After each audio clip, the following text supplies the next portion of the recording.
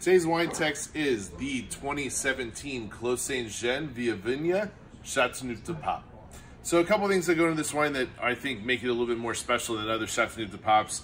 Uh, first is the winemaker here. Winemaker is Philippe Cambie, which if, you, if you're familiar or listen to some of the other videos we've done, he's an absolute legend when it comes to winemaking in the Southern Rhone. Uh, he's got some of his, you know, his name on some of the biggest wineries and some of the most collectible wines within the region. And I think overall, when tasting all of his wines, um, there really isn't a bad wine being made. So this is the Vieilles Vignes, which basically means old vines or translates to old vines. Uh, so this is Clos Saint oldest vineyard. Uh, it's about 115 year old vines uh, planted in 1905, and this wine is made of 100% Grenache. Uh, so yeah, I'm really excited. I want to taste this because this is one of my favorite wines by Saint Jean and one of my favorite wines for the price that comes out of Chateauneuf du Pape. And then for the price that we're actually offering it to, today for wine text is just out of control.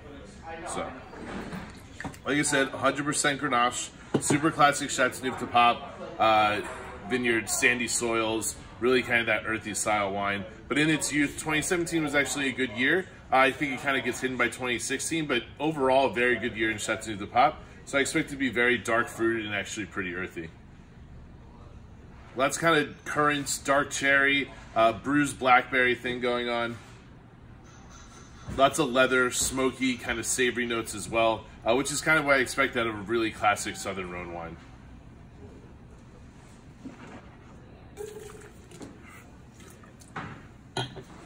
Lots of tannin, lots of structure, but still a lot of acidity as well. I think this is a wine that, if you're going to open it now, definitely decant it, definitely get some air in it. I think a decent amount of time with rolling air in it will make it even better. But I also truly believe that this is a wine that's going to last 5, 10, 15 years down the line, maybe even 20. Um, Chateau de Pape is some of the most age-worthy wine in France, and I don't see this being an exception to that. Uh, so yeah, if you want to open it now, get some air into it, or save it for a special occasion. This is a spectacular wine. At the price we're selling it at, I think we're doing it, you know, under that $30 mark. is uh, extremely impressive and, you know, supremely delicious at that price. Enjoy.